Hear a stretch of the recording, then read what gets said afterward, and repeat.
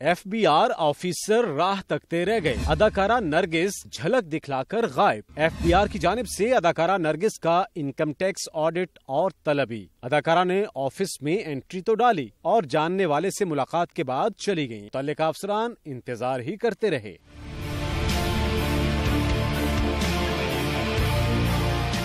FBR ने अदाकारा नरगिस का साल 2016 का इनकम टैक्स ऑडिट शुरू कर रखा है। जराये के मुताबिक अदाकारा को दोबारा तलब किया जाएगा। शब्बीर हैदर ज़फ़र, लाहौर न्यूज़।